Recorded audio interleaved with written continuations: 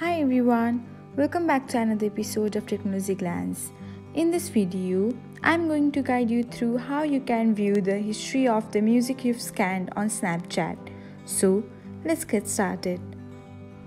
Watch till the end and don't forget to subscribe to Technology Glance by hitting the subscribe button and press the bell icon so that you'll never miss another update.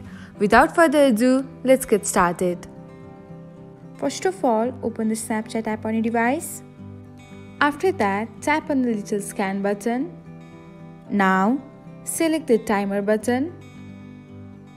After that, tap on the music. Now, any music you've last scanned on Snapchat will appear on the screen.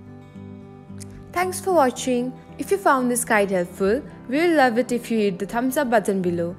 We upload great new tech tutorials like this one every day. So, don't forget to subscribe to our channel and hit the bell icon to get an update as soon as we post a video.